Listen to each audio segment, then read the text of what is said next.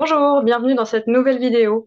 Aujourd'hui, j'ai le plaisir et l'honneur, parce que si, si, c'est quand même un honneur, de recevoir euh, Carole Grimaud, experte en géopolitique euh, de la Russie et chargée de cours euh, à l'Université de Montpellier. Et Carole va nous parler aujourd'hui de l'histoire de l'Internet russe. Donc Carole, bah déjà, je te remercie sincèrement bah, d'être ici aujourd'hui avec moi pour cette conférence, cette émission. Et puis, bah, je te laisse te présenter en quelques minutes.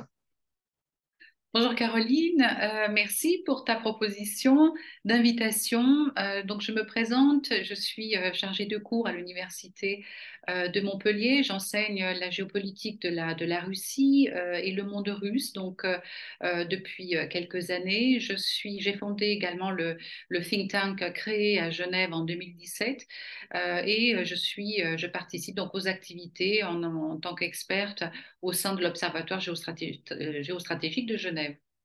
Très bien. Donc, du coup, on va enchaîner dans le vif du sujet, euh, justement. Alors, n'hésite pas, euh, Carole, si tu veux euh, présenter des slides ou si tu veux nous présenter des images, n'hésite pas. Hein. Donc, première question, quel est le lien entre le pouvoir russe et l'information et ou la désinformation à travers le temps? Parce que du coup, on va, faire, on va passer, on va faire un petit voyage dans le temps, à quelques siècles jusqu'à aujourd'hui. Et donc, qu'est-ce que tu peux nous parler, nous dire justement de cette évolution à travers le temps? Alors, l'information, et je parlerai surtout de l'information euh, russe et de ses liens avec le pouvoir. Euh, ce lien-là est euh, quelque chose qui a marqué essentiellement, et je partirai de l'époque soviétique, hein, non pas remonter des siècles en arrière, sinon nous, nous, aurions, nous y passerions la, la soirée. mais si nous parlons donc de l'époque soviétique, le lien entre l'information et le pouvoir, ce sont, je résumerai cela en deux mots, euh, en guise d'introduction, c'est la méfiance et le contrôle. Euh, effectivement, cette information-là, euh, l'information générale entre les différentes composantes de la population représentait une, une menace directement pour le pouvoir. Donc cette menace-là devait être contrôlée, surveillée et contrôlée pour être maîtrisée. Donc c'est le point de départ que je donnerai donc à cette, euh, à cette, à cette, à cette interview, à, ce sujet. Euh, le point de départ, ce sont les charashkas. Alors les charashkas, qu'est-ce que c'est? C'est un, donc un mot, un mot russe pour désigner euh, ces euh, centres, euh, ces, prisons hein, qui se sont ouvertes en 1947, donc un peu après la, Deuxième Guerre mondiale, par Staline. C'est Staline qui a ouvert donc ces charashkas, des prisons, mais pas comme les autres, c'était des prisons qui étaient réservées aux scientifiques. scientifiques, ingénieurs, linguistes, mathématiciens, et euh, de nombreux personnages euh, célèbres comme l'écrivain euh, Solzhenitsyn, il, en a fait, en a fait partie et est resté donc des années dans cette charashka. Et ces charashkas donc travaillaient sur des projets, notamment une dont, dont, je parlais tout à l'heure, là, où était euh, Solzhenitsyn, là où était enfermé Solzhenitsyn, l'un de ces projets-là, c'était la cryptographie. Euh, cryptographie, eh bien parce que euh, Staline euh, se sentait, le pouvoir soviétique et Staline se sentait menacé de l'extérieur, mais aussi de l'intérieur. Il fallait donc contrôler euh, les conversations téléphoniques, euh, il fallait euh, contrôler les messages. tout cela faisait partie donc de ce, contrôle et les scientifiques qui, faisaient partie de ces charashkas travaillaient donc sur des moyens pour, pour obtenir donc ces renseignements. Donc voilà déjà le lien entre l'information, euh, les échanges, l'information qui doit être contrôlée. Alors ce sont les écoutes téléphoniques, ce sont les reconnaissances de la voix vocale également. Donc tous ces sujets-là qui ont été euh, qui ont été des sujets donc de, travaux pour ces euh, pour ces scientifiques. Donc ces charashkas se sont ensuite mués en institut, institut de recherche par la suite, et quelques-unes d'entre elles ont euh, effectivement euh, euh, pu trouver de nombreuses découvertes dans la, crypto, tout ce qui est donc cryptographie, mais également dans l'armement. Hein. C'est aussi de nombreux scientifiques qui se sont retrouvés dans ces charachkas, notamment André Tupolev, par exemple, Solzhenitsyn, André Tupolev et d'autres aéronautes qui, ont participé donc à tous ces travaux. Donc nous voilà arrivés euh, à cette période euh, soviétique d'après-guerre, après, la, après la, la, Seconde Guerre mondiale, et dans les années 50-60, avec l'ouverture d'un institut. Alors lui, ce n'était pas une prison, euh, loin de là, c'était un institut scientifique, l'Institut Korchatov. très intéressant, l'Institut Korchatov, fondé par le père de la, de, la, de, la, bombe nucléaire russe, soviétique, Igor Korchatov, qui donc fonde cet institut avec de nombreux scientifiques qui travaillent sur de nombreux projets. Et cet institut est, vous vous en doutez, naturellement supervisé par le KGB. Euh, toutes les découvertes euh, qui sortent de cet institut Kourchatov sont euh, extrêmement contrôlées par euh, l'État et par les services de, renseignement. Alors la petite anecdote, dans les années 50, par exemple, euh, la photocopieuse, alors euh, ils avaient entendu parler d'une photocopieuse donc aux États-Unis qui pourrait aider donc les travaux des, scientifiques. cette photocopieuse a été reproduite, donc on a reproduit une, une, une photocopieuse soviétique.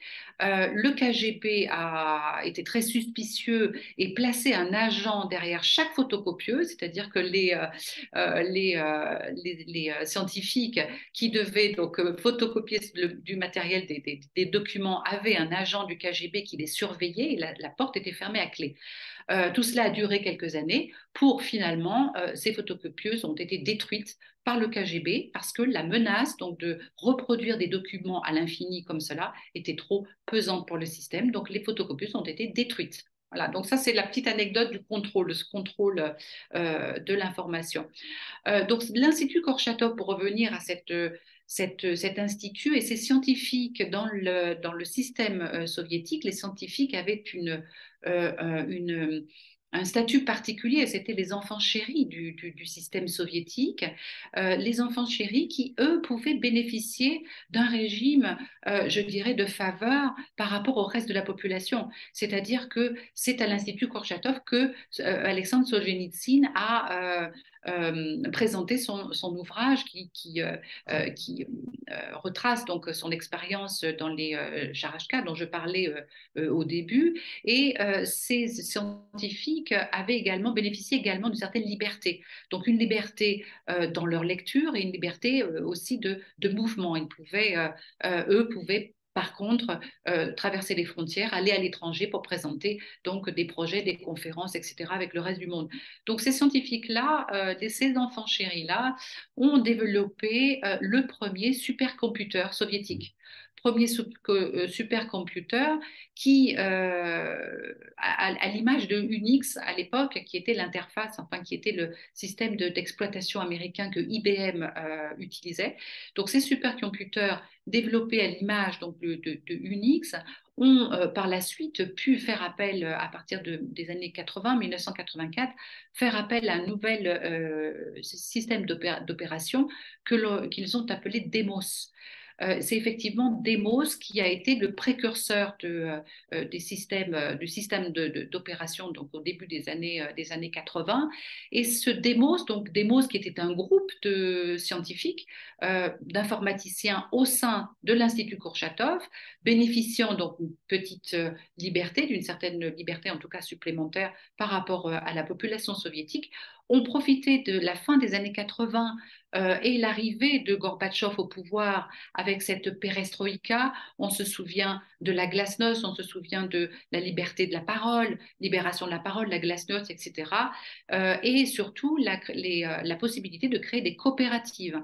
Des coopératives, c'était ces embryons de, de, sociétés, non pas privées, mais détenues par un, groupe.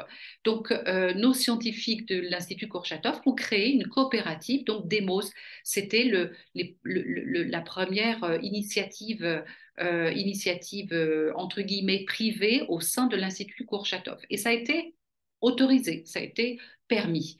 Euh, les avancées petit à petit donc de ce groupe euh, de Demos qui se sont donc euh, qui, qui, est devenu donc une coopérative à la fin des années 1980 en 1990 a réussi la communication entre deux ordinateurs soviétiques. On est en 1990 et effectivement le, le, l'institut Kurchatov a pu communiquer avec d'autres universités notamment celle de Leningrad à l'époque Saint-Pétersbourg, euh, Leningrad. Donc ces deux ordinateurs ont pu entrer en contact l'un avec l'autre grâce au premier fournisseur d'accès développé par Demos, Relcom. Relcom a été le premier fournisseur d'accès de l'Union soviétique. Donc, nos deux ordinateurs soviétiques ont pu entrer donc en relation l'un avec l'autre. Donc, l'un à, euh, à, l'Institut Kurchatov, donc à Moscou, et l'autre euh, à euh, Leningrad. Donc, on a le début d'un réseau, d'un réseau Internet qui va commencer à se construire par rapport à, justement cette, cette, cette opération, entre guillemets oui, effectivement, c'est un réseau qui, a commencé à se mettre en, place un petit peu à l'image euh, du réseau américain. Rappelons-nous, euh, le réseau euh, s'était mis en place au sein des, des, universités, essentiellement universitaires. Donc, c'était des relations et des mises en, en relation universitaires d'ordinateur à ordinateur universitaire. Euh, donc un petit peu, il s'est passé un peu la même chose euh, avec euh, dans, le cadre donc de cette, cette équipe Demos qui avait donc proposé ce nouveau fournisseur d'accès Relcom et qui a pu rendre possible cela. Comme il y a eu déjà une menace, enfin comme la Russie voyait ou l'URSS voyait déjà les scientifiques comme une menace, j'imagine que ce début de réseau a aussi été extrêmement surveillé et eh peut-être très surveillé eh par les services de renseignement également. Eh bien non, la surprise, c'est que nos scientifiques déjà euh, travaillaient sur, des, sur ce programme-là euh, euh, à l'insu euh, à l'insu des services de renseignement et des services secrets, c'est-à-dire que peu de, peu de gens euh, déjà euh, comprenaient ce qu'ils fabriquaient dans leur coin et que tout cela, tout cela enfin, en tout cas, autant la relation d'un institut avec un autre était bien vu, bien accepté et euh, euh, autorisé. par contre, c'est la relation de, c'est-à-dire l'arrivée directe de notre, de nos internautes, de nos premiers internautes soviétiques dans le, le network mondial. C'est là où, c'est là où en fait cette opération-là s'est passée, je dirais, en secret, à l'insu des services de, renseignement, lorsque le, le, le le fondateur de Demos, est entré en contact avec l'université d'Helsinki. C'est-à-dire que là, euh, le, euh, la, frontière, euh, la frontière cyber avait été dépassée et que cette, cette relation-là avait pu se, se, mettre, se mettre en place avec l'institut, avec l'université d'Helsinki, avec des moyens, je dirais, des, des, moyens fabriqués, des moyens maison. Enfin, c'était du bricolage. Euh, comment cela a pu être possible? Le fondateur donc, de, de, Demos, donc Soldatov, avait euh, la possibilité d'avoir une ligne personnelle capable d'appeler l'étranger. Donc, quand je parlais tout à l'heure des enfants chéris, vous voyez que euh, avoir une ligne extérieure était quelque chose de rarissime en Union soviétique. Et Soldatov le, fondateur de Demos a, utilisé sa ligne téléphonique extérieure pour entrer en contact avec l'université d'Helsinki. Et ça, c'était à, quelle période ou à quelle année? Euh, là, c'est à la fin des années, à la fin des années 80. Puis cette première, euh, cette première connexion euh, se passe en août 1990. D'accord. Donc, août 1990, on est effectivement dans une période très agitée, très trouble pour l'Union soviétique, euh, très chaotique. On est au bord de l'implosion. Euh, effectivement, les, euh, tout cela s'est passé un petit peu à l'insu de, du contexte. Du contexte général de, l'Union soviétique. Et cette connexion, cette connexion elle, a été bien perçue par le pouvoir? Alors, euh, le pouvoir qui était, euh, on le sait, euh, extrêmement déstabilisé, puisqu'on se rappelle, la, la, chute de l'URSS et la démission de, de Gorbatchev, c'est passé en 1991. Donc, on est à une année. On ces événements-là, il faut, il faut comprendre que cette connexion a pu se mettre en place au moment où il, y avait, il y a eu ce coup d'État, ce putsch des, des généraux et ce Yeltsin, ce Boris Yeltsin, qui, lui, a compris l'intérêt de, cette, de ces connexions et l'intérêt d'Internet, je dirais. Euh, euh, alors, c'est important parce que déjà, pour la première fois, donc, des Occidentaux ont vu apparaître euh, des messages directement avec des adresses Internet soviétiques. Donc là, il faut comprendre la surprise aussi de ces gens qui voyaient apparaître un internaute soviétique. Donc c'est déjà pas, c'est déjà peu courant. Et l'utilisation ensuite de ces réseaux et de ces connexions qui se sont multipliées avec non seulement Helsinki, mais avec les universités américaines de Californie.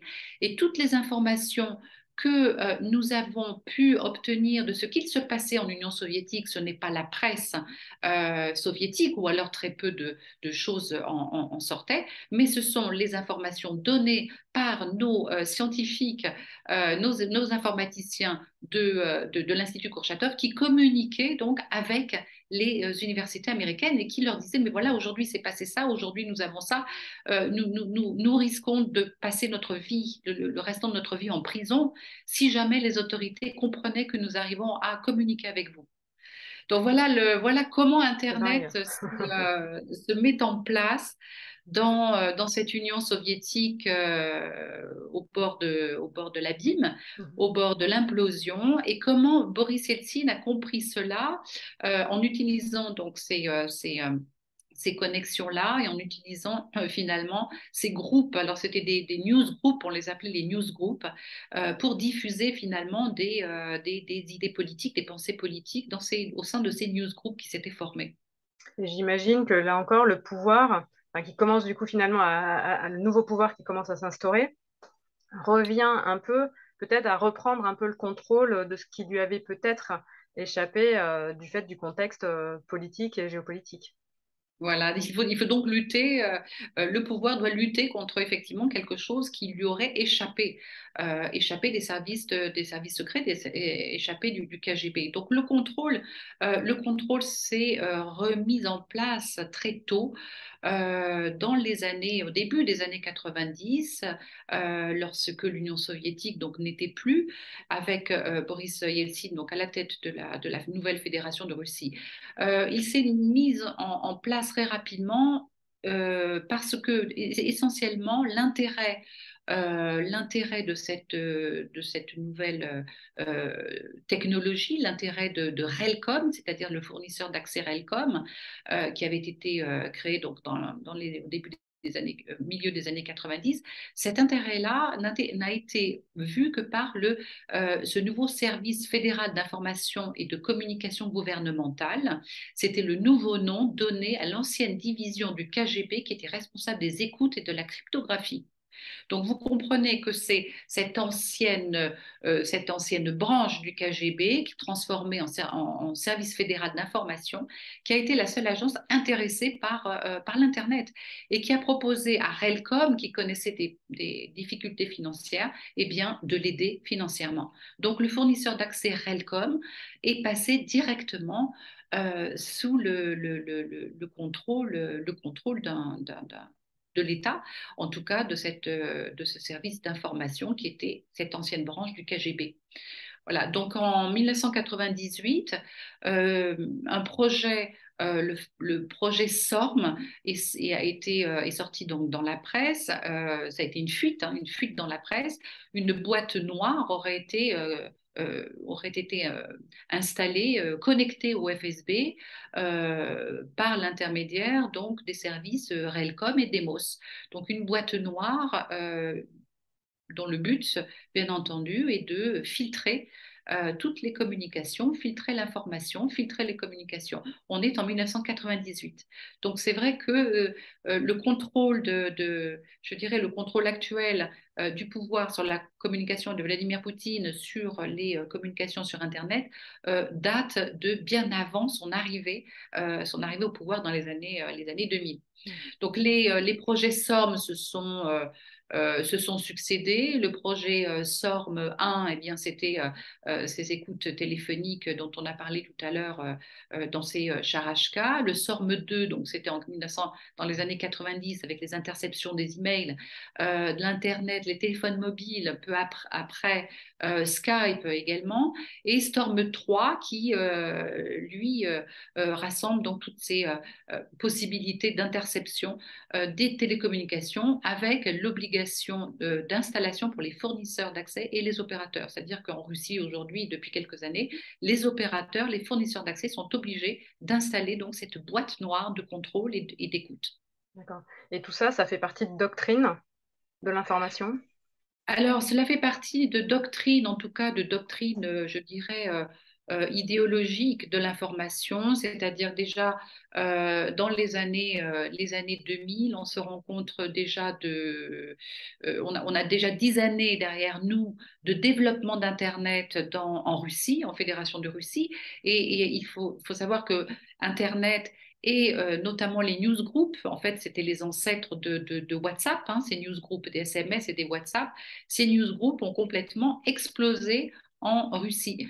Euh, les Russes euh, participaient euh, beaucoup à ces forums, c'est-à-dire que les idées, toutes les idées politiques, aussi bien les idées sociales, fleurissaient dans ces, dans ces newsgroups. Il y avait un échange très, euh, très fertile euh, dans ces, dans ces newsgroups-là. Il y a eu des blogs qui se sont construits. En fait, il y a eu une libération dans ces années 90-2000 au sein donc, des Russes, au sein de ces internautes russes, avec la, possibilité, bien sûr, pour cette population d'acquérir le matériel beaucoup plus facilement qu'à l'époque, à l'époque soviétique. Donc, il y a eu une, vraie une vraie liberté, une vraie libération qui a été euh, apportée. Mais est-ce que euh, le peuple russe, lui, avait conscience peut-être bah, d'être encore écouté, alors que peut-être il ne voyait pas euh, des choses de cette façon-là?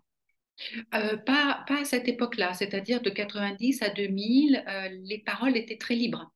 La parole était très libre sur Internet extrêmement libre. N'hésitez pas à critiquer euh, le pouvoir, à critiquer les décisions, les lois.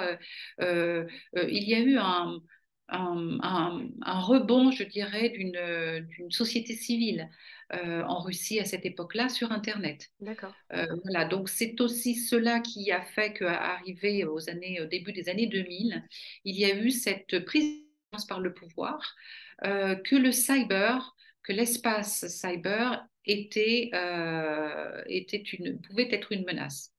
Et que ce qui se passait dans l'espace cyber euh, non contrôlé pouvait euh, représenter une menace pour le pouvoir et devait être donc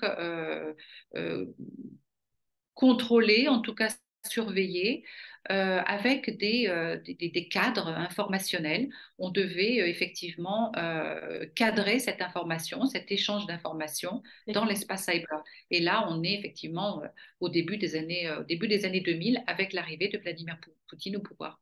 Et qu'est-ce qui s'est passé à ce moment-là au niveau de la Russie pour que on se dise là, il y a une menace il faut qu'on fasse quelque chose? Alors, ça, c'est, cela, c'est cette reprise du, contrôle ne s'est pas faite uniquement euh, dans l'espace informationnel, c'est aussi la reprise du contrôle des régions, euh, la reprise du contrôle euh, des, candidats aux élections. donc toutes sortes de, je dirais, de de lois dans la société et cet espace informationnel aussi en faisait partie, hein, le, cet espace de liberté finalement devait être contrôlé. Donc, euh, ce que l'on a vu euh, dès le, début de ces années 2000, c'est euh, par exemple des blogueurs, de jeunes blogueurs dans des régions de Sibérie qui remettaient un peu au goût du jour ces, ces velléités non pas d'indépendance, mais en tout cas de d'autonomie par rapport au centre, par rapport à Moscou.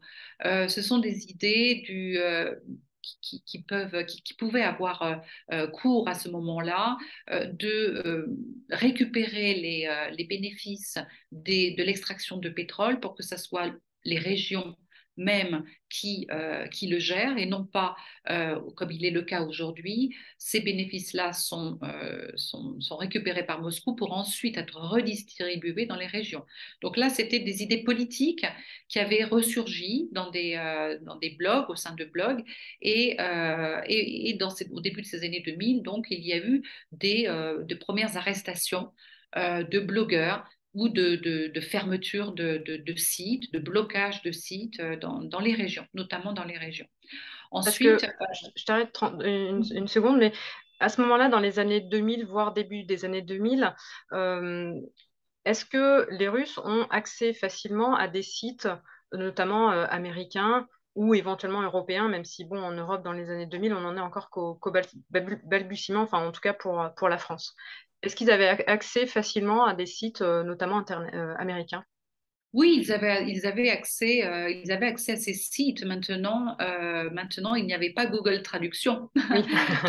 voilà, euh, qui, nous, euh, qui nous aide souvent, euh, de, temps, de temps en temps, cela dépend de la langue dans laquelle on fait nos recherches, mais Google Trad, Google Traduction n'existait pas. Donc pour nos Russes qui ne parlaient pas l'anglais ou le français ou d'autres langues, c'était bien difficile, mmh. bien difficile d'aller sur ces sites-là. Mais pour, en tout cas, pour cette population jeune, éduquée aux langues étrangères, oui, bien sûr, les sites américains de divertissement, toutes ces choses là étaient, euh, euh, étaient, euh, étaient, étaient vues, étaient, je dirais, été exploré. Mmh. C'était pour la population une façon de sortir du territoire. Pour ceux qui ne pouvaient pas voyager, non pas par euh, contrainte euh, politique comme euh, durant l'Union soviétique, mais tout simplement par contrainte économique. On sait, on connaît les, dix années de transition économique en Russie qui ont été particulièrement dures pour la population. Donc, ces gens-là ne pourront pas, voyager. Bien sûr, Internet représentait une sorte de, porte, de, porte de sortie. Voilà. Donc, euh, ce, donc ce contrôle s'est opéré au début des années 2000. Euh, euh, j'ai le souvenir donc, de ces régions, de, ces régions de, de, Sibérie. Ensuite, le contrôle s'est durci et, et, extrêmement durci à partir des manifestations de l'hiver 2010-2011. C'était euh, les fameuses manifestations sur la place Bolotnaya, lorsque Vladimir Poutine est revenu au pouvoir après cette euh, séquence tandem avec euh, Dimitri Medvedev. Donc, ces manifestations-là ont été les premières manifestations en Russie qui se sont organisées sur Facebook. C'était effectivement euh, le début de Facebook, hein, dans le début des années 2010, et euh, les, euh, les rendez-vous, les prises de contact, les rendez-vous, le lieu des manifestations, etc. Tout cela se déroulait sur Facebook. Donc là aussi, le pouvoir ayant connaissance, ayant pris connaissance de cela, a compris la menace de ces réseaux sociaux directement pour le pouvoir. Donc, à partir de 2010, le contrôle a été beaucoup plus, beaucoup plus sévère. Euh, le, filtre euh, également a été beaucoup plus sévère. Les blogueurs, alors quand je parle des blogueurs, on, pense bien sûr à Navalny. Euh, Navalny qui a commencé son, ses activités de blogueur dans ces années-là représentait là aussi euh, un, début de menace. Donc la menace était la jeunesse, cette jeunesse qui s'est rassemblée donc pour manifester contre le retour de, de, Vladimir Poutine et euh, cette euh, sphère, cette, ce monde des blogueurs qui n'hésitaient pas à critiquer, à critiquer le pouvoir. Oui, et puis ça intervient aussi à un moment donné où il y a aussi tous les printemps arabes et me semble-t-il que la Russie était très enfin regarder cela d'un œil euh, très spécifique hein, parce que justement elle se méfiait que ça puisse arriver euh, sur son territoire. donc effectivement il y, a un, parallèle entre les deux. Voilà. Ces manifestations en 2010 en Russie même. Ensuite il y a eu les printemps arabes de 2011 et la Russie a vu derrière ces manifestations populaires, ces révolutions populaires a vu donc la main de Washington et des réseaux sociaux.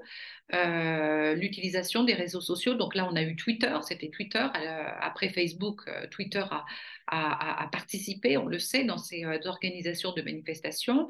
Auparavant, et là on est en, en 2004, alors on n'avait pas les réseaux sociaux, mais il, y avait, il y a eu la révolution orange en Ukraine, il y a eu la révolution de velours en, Géorgie. Euh, toutes ces révolutions de couleurs ont été euh, vues du côté russe comme des opérations occidentales pour euh, déstabiliser, donc pour changer les régimes de ces, euh, de ces euh, ex-républiques soviétiques, ex-satellites de l'Union soviétique, et l'utilisation de ces réseaux sociaux ont, rendu beaucoup plus facile donc c'est l'organisation de ces, de ces révolutions et de ces manifestations.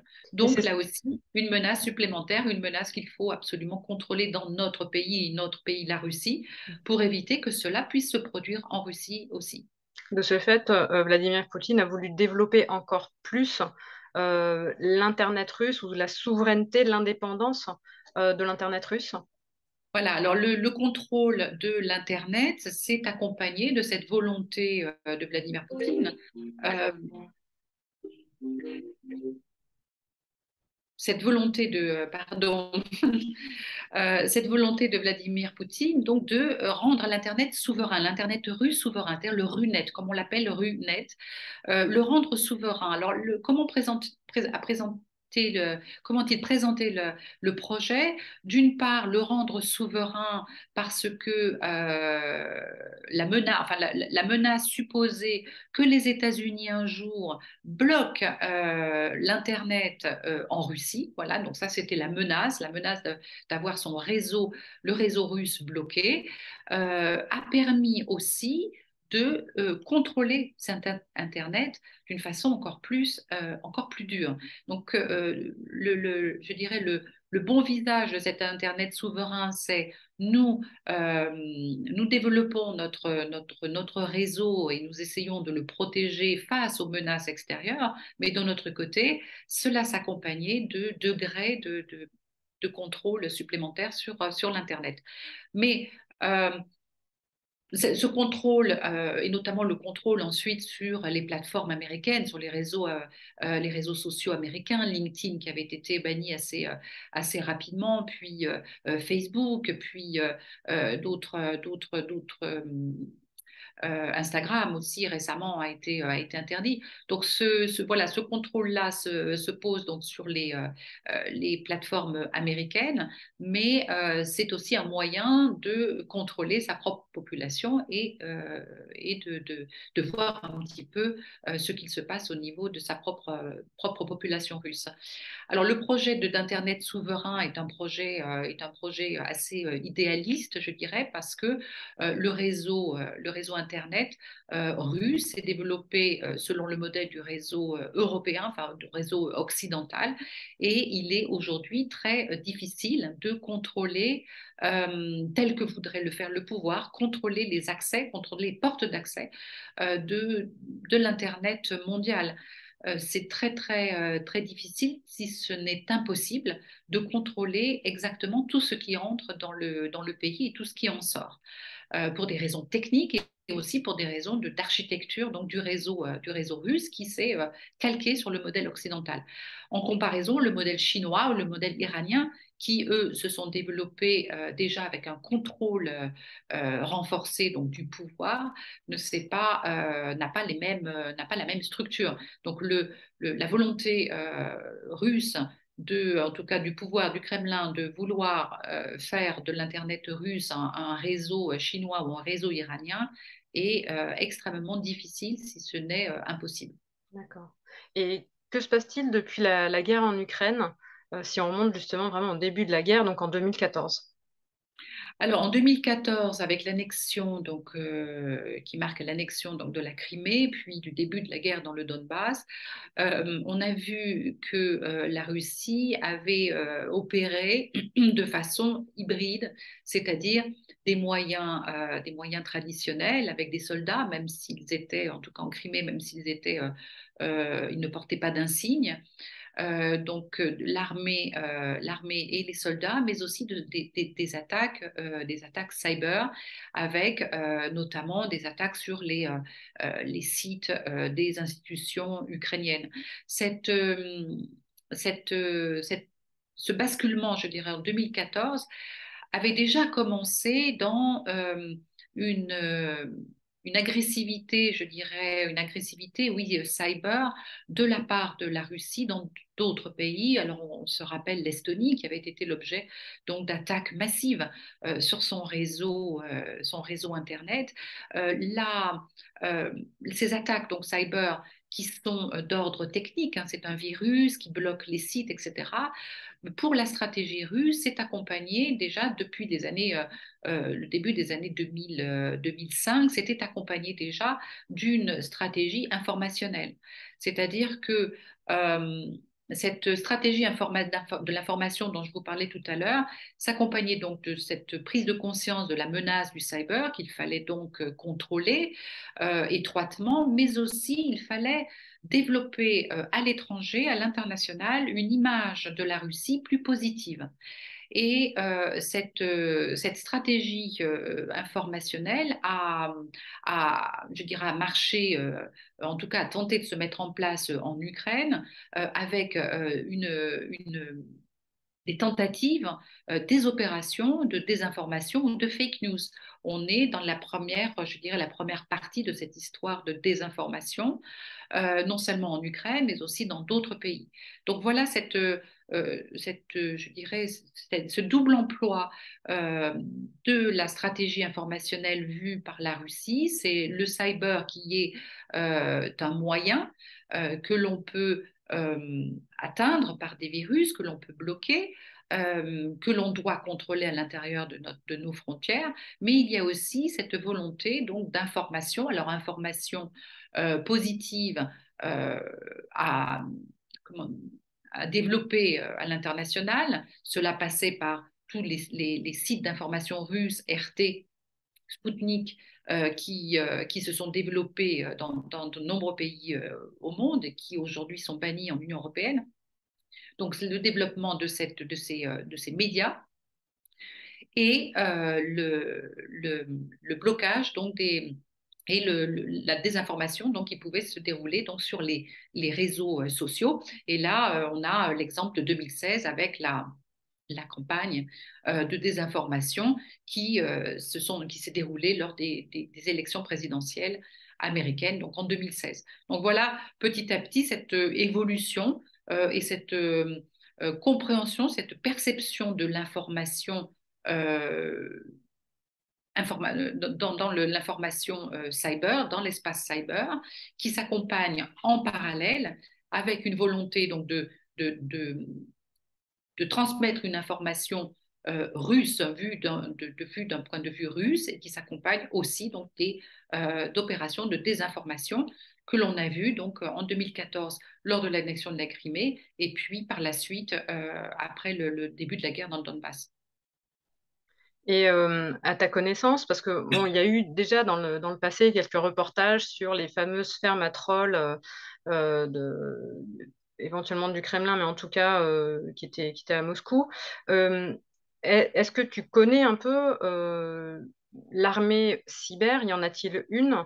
Est-ce qu'il y a des cyber-bataillons au sein de l'armée russe? Oui, euh, il y a, oui la, formation de ces euh, cyber, euh, cyber soldats, hein, comme, on, les appelle, la formation remonte au début des années, des années 2010 à peu près. Hein. Donc c'est une...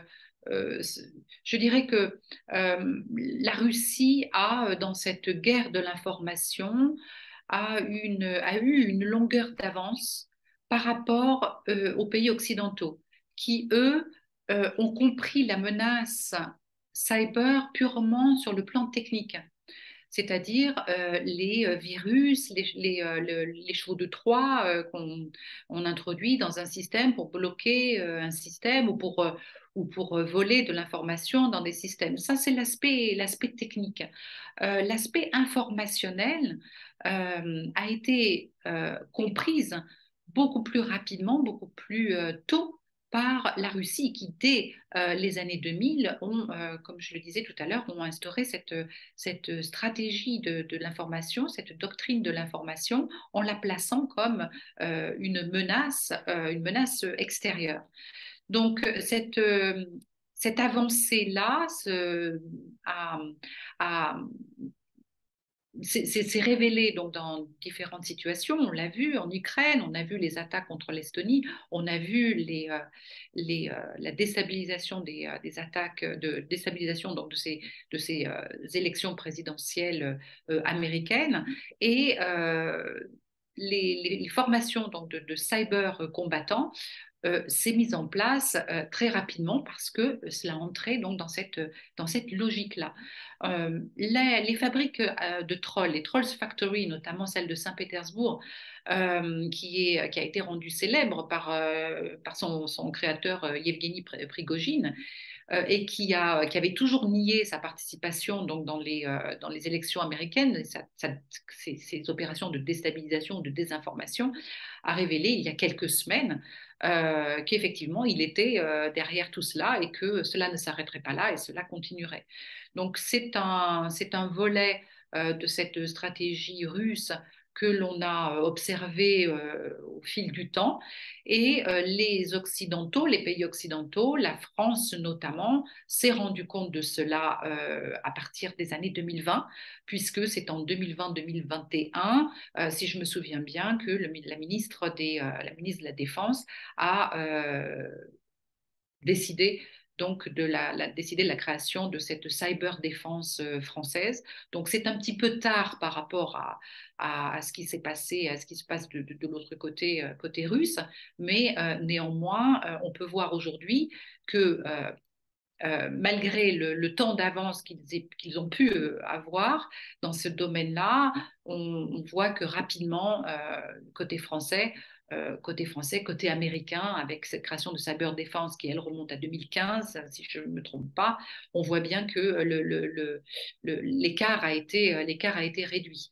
Euh, voilà, mais on est vraiment dans une, dans une guerre de l'information. Alors la guerre de l'information, on en parle déjà depuis, depuis quelques années. bien sûr, aujourd'hui, c'est la guerre cognitive. On parle de guerre cognitive, c'est-à-dire cette, cette volonté finalement de changer la vision euh, du monde euh, chez l'adversaire, au, sein même des populations de l'adversaire. Donc une guerre cognitive qui se passe euh, dans l'espace Internet, bien évidemment, mais aussi dans tous les médias. C'est une, guerre cognitive qui, doit, comment dire, toucher le but de la guerre cognitive, c'est donc bien de toucher les populations, toutes les populations, par le moyen, par l'information l'information, les médias et euh, bien sûr l'espace cyber. Tout à fait.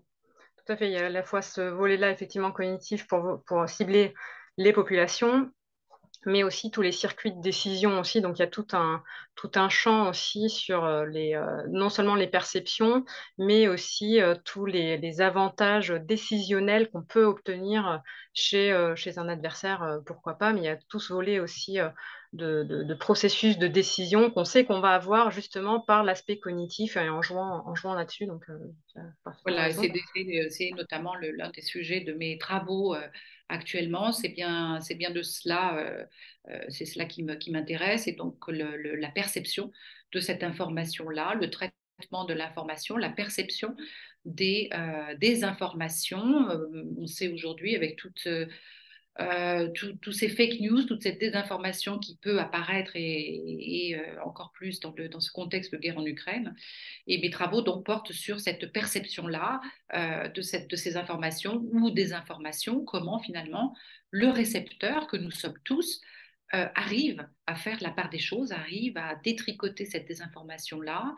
Qu'est-ce qu'il en reste dans, sa mémoire? Est-ce qu'il en reste dans sa mémoire pourra il être réactivé à un moment euh, ou à, un autre moment, euh, plus loin dans le, temps, comme euh, peut-être comme un cheval de Troie? Est-ce que finalement cette guerre cognitive ne serait pas, le but ne serait pas d'initier des, des, des, virus, entre guillemets, dans nos, dans, nos, dans nos têtes, dans nos cerveaux, qui pourraient se comment dire, qui pourrait avoir une portée plus longue dans le temps, de façon à changer notre vision du monde, de façon à changer nos, perceptions et, in fine, nos attitudes envers, euh, nos, politiques, envers nos, gouvernants. Effectivement, tu parles de, temporalité, c'est quelque chose qui est effectivement très important, notamment dans la, conflictualité, c'est-à-dire qu'il y a le temps, il y a le temps présent, mais il y a aussi le temps long, et euh, effectivement, les perceptions peuvent se manager. Euh, il y a le temps X, il y a un temps rapide, mais il y a aussi tout ce qui va être beaucoup plus lent pour de façon à ce que ça s'infuse vraiment complètement à l'intérieur de notre culture, de notre être. Euh, un peu de la même manière dont on a tous été, euh, enfin en tout cas on a été nombreux à voir des séries américaines, des films américains et, ça continue. Et euh, ce qui fait qu'on a quand même une culture américaine, même si on n'a jamais mis les pieds aux États-Unis, on est tous capables de, savoir que Thanksgiving c'est une fête, et alors que ça fait pas du tout partie de, notre culture. Donc il y a effectivement cette notion de, temporalité qui est, qui est importante. J'avais une autre question. Est-ce que tu, alors peut-être que ce n'est pas le cas, mais en tout cas, est-ce que tu as regardé ou est-ce que tu as eu accès, ou est-ce que même c'est possible, euh, d'avoir eu accès à la doctrine, et y en a-t-il une d'ailleurs, doctrine de guerre de l'information russe? Une doctrine de guerre de l'information, alors euh, elle ne s'inscrit pas dans ces termes-là. D'accord. Euh, il y a une, doctrine de l'information. Alors, une doctrine de l'information euh, qui, euh, la, première, donc, date, de 2000. Ensuite, il y a eu d'autres aspects, enfin, d'autres apports à cette, à ces doctrines de l'information qui ont été partagés au sein du ministère des Affaires étrangères, par exemple, ou au sein du Conseil de sécurité. Euh, c'est euh, alors c'était en tout cas l'aspect euh, l'aspect du contrôle de l'information est quelque chose de très de très secret. Ça c'est véritablement les au sein du, Conseil de sécurité et des, des, services de renseignement que cela se cela se joue. en attendant tout l'aspect informationnel et au début le soft power comme il l'appelait au début et cet aspect informationnel donner une bonne image de la Russie euh, etc., eh bien cela, euh, cela fait partie donc de la doctrine de l'information vue euh, depuis le ministère des Affaires étrangères, par exemple. Donc il y a il y a plusieurs volets à cette doctrine de l'information. Il n'y en a pas une et une seule. Je dirais que cette vision, cette perception de l'information est partagée dans, différents, dans différentes structures de pouvoir, le ministère des Affaires étrangères, le euh, Conseil de sécurité euh, et également euh, ce ministère de l'information qui, a qui avait été créé à, la suite des années, dans les années 90, qui lui est directement rattaché au FSB. donc c'est une c'est quelque chose qui est assez flou, en tout cas vu du côté, vu côté français, côté occidental, quelque chose qui est assez flou et qui ne semble pas avoir été publié, en tout cas rendu public. D'accord. Et euh, on, voit en tout cas, euh, quoi qu'il en soit, qu'au niveau du pouvoir russe, euh, Vladimir Poutine a vraiment décidé de faire de, l'Internet, du média, enfin, du moyen Internet, du cyber, vraiment un outil de puissance et qui va continuer de se, développer, de se déployer. Est-ce que tu as des informations concernant justement l'emploi d'intelligence artificielle? Alors l'intelligence artificielle intéresse beaucoup euh, la Fédération de Russie comme, euh, de nombreux pays euh, dans le monde. cette intelligence artificielle, elle est notamment, les projets notamment dans, ce, dans ce domaine-là sont situés au sein de l'Institut Kurchatov. Et si je dis cela, cela donc, renvoie à, notre institut Kurchatov de, du début des années, des années 50 et ensuite avec le développement d'Internet, donc un institut Kurchatov qui est chapeauté donc, par, par, le pouvoir directement, par les services de renseignement. Donc cette, cette intelligence artificielle est développée donc, à l'Institut Kurchatov. les sciences cognitives sont également très sont un, domaine qui est euh, très euh, euh, développé, en tout cas publiquement, ce qu'ils ce ce diffusent, en tout cas ce qu'ils partagent du, côté, du côté russe. Donc effectivement, si la stratégie est une stratégie de future guerre cognitive, effectivement, les scientifiques sont au travail. dernièrement, ils ont développé ce qui n'avait jamais été fait pour la langue russe, c'est-à-dire ce, qui, ce qui existait déjà pour la langue anglaise, mais là particulièrement pour la langue russe, c'est-à-dire quelle partie du cerveau et quel, neurotransmetteur sera excité, sera suscité en tout cas par certains mots dans la langue russe. voilà, donc ça c'est la première une, des, dernières avancées, une des dernières découvertes avancées de l'Institut Kurchatov dans les sciences cognitives, c'est-à-dire la, c'est du, de la, le linguisme, la linguistique finalement, mais euh, observée euh, directement dans les cerveaux.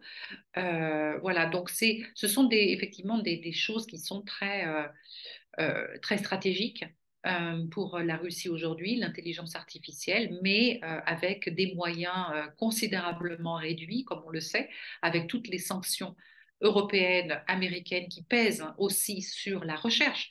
Euh, on, en parle peu, mais la recherche a été très touchée, très, euh, euh, très marquée par, par toutes ces sanctions. les chercheurs n'ont plus accès comme ils l'avaient auparavant dans les bases de données américaines bases de données américaines ou bibliothèques ou, ou autres ressources étrangères.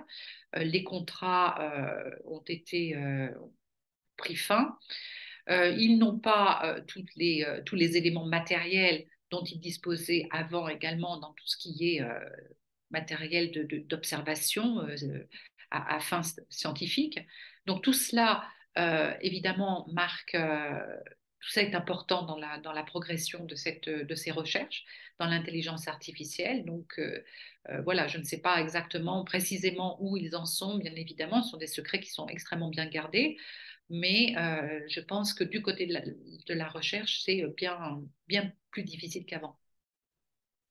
Super, bah écoute, euh, Carole, je te remercie infiniment pour toutes tes explications et, ce voyage dans, le temps qui est absolument passionnant. Est-ce qu'il y a quelque chose qu'on n'a pas abordé et qui te paraît extrêmement important avant de conclure? Euh, je dirais que tout cela est, une, longue, est une longue histoire, on l'a vu, hein, c'est ce contrôle de l'information, euh, une longue histoire euh, de relation entre, directement entre le pouvoir et l'information, et qui s'est qui s'est durcie depuis l'arrivée de Vladimir Poutine et encore plus depuis la guerre en Ukraine. La guerre en Ukraine est un nouveau cran, je dirais, dans, le, dans ce durcissement-là, un nouveau, une nouvelle un nouveau cran, une nouvelle échelle dans le contrôle de la, le contrôle de la population.